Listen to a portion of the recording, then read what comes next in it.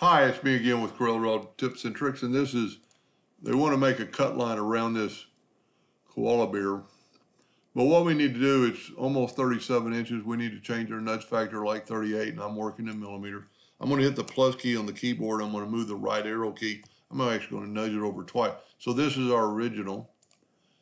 They're copies of the original, but then we're going to go to bitmap, convert it to a bitmap, grayscale, and then we're going to trace outline trace clip art and it's going to give us this and I can say okay and I can take the vector version away. Let's just nudge this out of the way a couple of times. And because I'm nudging I don't have to worry about getting it back. Let's take a rectangle or a square and draw it around there. Take the smart fill tool and fill it in.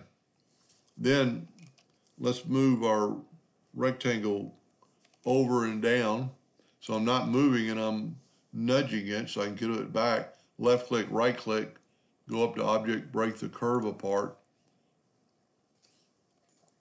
Hit that in, hit that box away. Let's go ahead and change this to a hairline. Because that'll be our cut line. And let's change it to red. Now we have a red cut line around it. And we nudge it up twice and over once. So now you have a cut line around your original graphic. Now, I would suggest it a little bit more, so let's nudge that over again. Let's go to effects and contour. Let's contour to the outside a half a millimeter, and it did.